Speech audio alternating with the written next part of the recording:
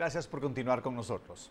El presidente estadounidense Barack Obama nombró hoy a Ashton Carter como nuevo secretario de Defensa en reemplazo de Chuck Hagel. Carter está considerado uno de los principales líderes en seguridad nacional. Esto dijo Obama en la Casa Blanca, haciendo referencia a su perspectiva estratégica y conocimiento técnico. Bravia 4K con Motion Flow.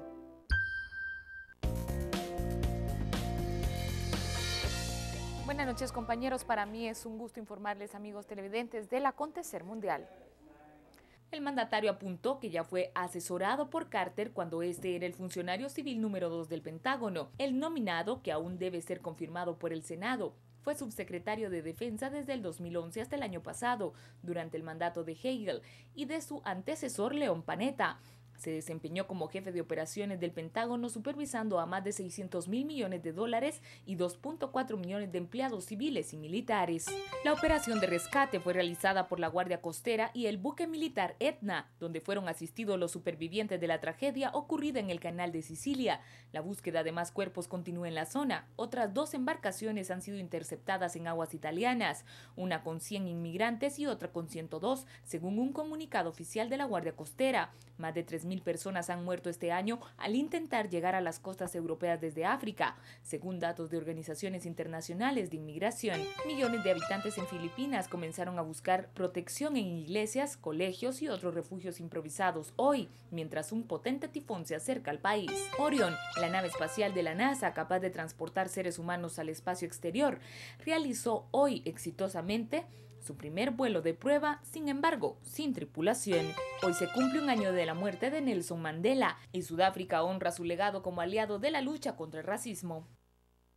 De esta forma finalizamos el panorama informativo. Soy Alejandra Martínez. Que pase un excelente fin de semana.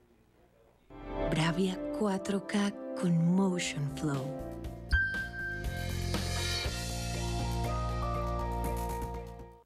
Ya en temas de nuestro país, en memoria del pintor y escultor guatemalteco Juan Jacobo Rodríguez, quien revolucionó el lienzo y el pincel, se le realizó un homenaje póstumo en la Escuela Nacional de Artes Plásticas Rafael Rodríguez Padilla, la cual lleva el nombre del fundador y padre del artista.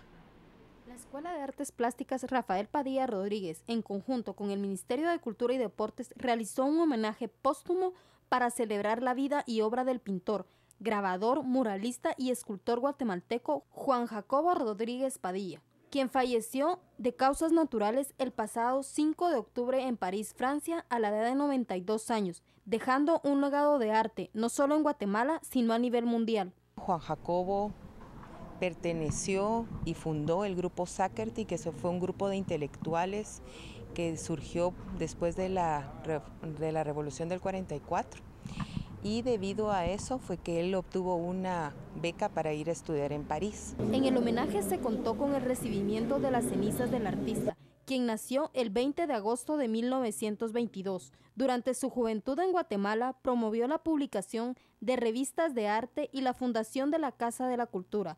Realizó los murales de las salas toltecas y preclásico del Museo Topográfico de México. Era pues más, más figurativo, que eh, abstracto, ¿verdad? Como es eh, la pintura y menos colorista que la obra reciente de, de, Jacob. Se ve que eh, su viaje a Europa hubo una transformación de, de, su pintura. Montó varias exposiciones en diferentes galerías en París. Participó en otras exhibiciones colectivas en San Salvador, Santiago de Chile, Museo de Arte Moderno de Nueva York y la Bienal de Venecia. En Guatemala, la última exposición de obras suyas se llevó a cabo en el 2010 en el Museo de Arte Moderno Carlos Mérida. Por una Guatemala en paz, para Noticiero Guatevisión, Andrea Domínguez y Diego Marcos.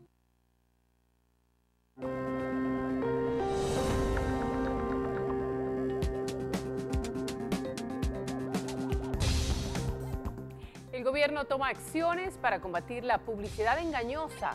Te lo contaremos cuando volvamos de la publicidad.